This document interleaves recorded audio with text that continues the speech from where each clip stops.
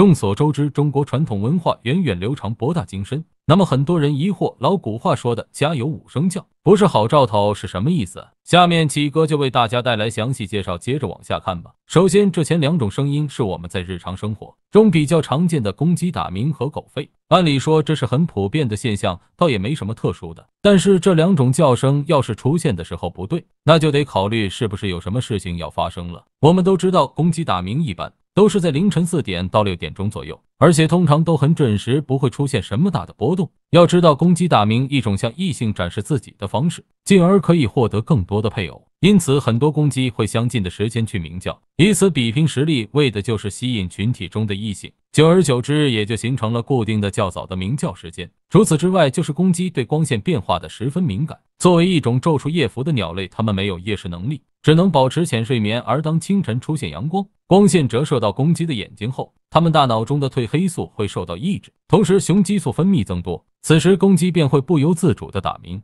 可当公鸡在非固定时间，尤其是半夜打鸣，那这就很反常了。要么是家里进了什么外来的生物，引得鸡群不安，公鸡出于自我保护意识会打鸣，这样可以宣示主权，吓退敌人。还有一种可能就是公鸡生病了，身体内分泌紊乱，这才导致打鸣的时间错乱。而对于古人来说，都是不吉利的。重要的是影响人们睡眠，解决办法就是公鸡上餐桌成了美味佳肴。其次就是狗吠，早在氏族部落时期，人类就驯服了部分犬类，让他们帮助自己的族群进行狩猎、看守领地。随着时间的推移，犬类被驯服的越来越多，而且也培育出来不同的品种。对于现在的人们来说，狗不再用于狩猎，通常是为了看家护院，或者是当做宠物。当然，狗的领地意识和忠诚度并没有因为时间久远而淡化，依旧会保持警觉。若是家里来了陌生人，带有攻击性的犬类都会吠叫，这是一种宣示领地主权的做法，也是给自己的主人一个信号，告诉家里人来外客了，要注意安全。对于人们来说，这是很好的警觉方式。但是要狗在半夜吠叫，那可就不寻常了。这意味着家里来了不速之客，或者是闯进了野生动物，这时就要保持警惕，不能再沉睡。毕竟狗不会无缘无故的吠叫，它们有着很好的听力和夜视能力，不可以小看它们。要么是加强防范，要么就是把家里的墙体等建筑加高，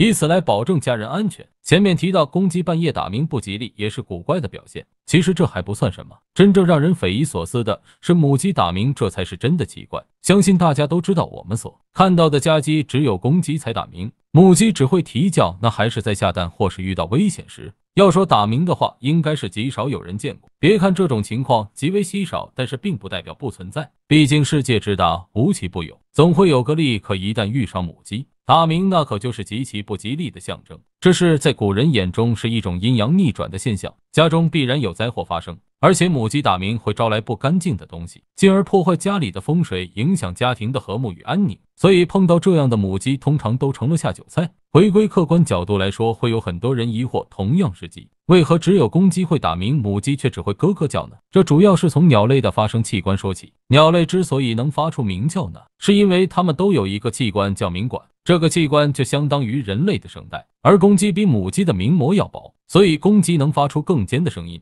可要是母鸡打鸣性，简单的说就是雌性或者雄性个体转变为异性的现象，生物学上称之为性逆转。因此来看，母鸡打鸣其实是一种极其罕见的先天性别改变，并非是什么大灾大难降临的前兆。剩下的两种叫声，一种是乌鸦的啼叫，另一种是猫头鹰的笑声。这两种鸟都和死亡挂钩，也被称之为不祥之鸟，一直被人们厌恶。先来说说乌鸦的啼叫。乌鸦是群居动物，一般都是一群盘旋在一起，因其叫声很难听，又时常在夜里啼叫，总是给人阴森恐怖的感觉，所以久而久之也就被人们厌恶。若是突然一群乌鸦来到人家附近，那可能是附近有事事情发生，可能是战争，也可能是林中有动物争斗厮杀，会有残留的尸体和腐肉，这些正是乌鸦喜欢的食物。所以出现这种情况，那就要注意周边环境的变化，看看是不是真的有什么未知的事情要发生，及早做出应对。其次是猫头鹰的笑声，这其实并不是猫头鹰真的笑，而是一种独特的叫声，给同伴传递信号，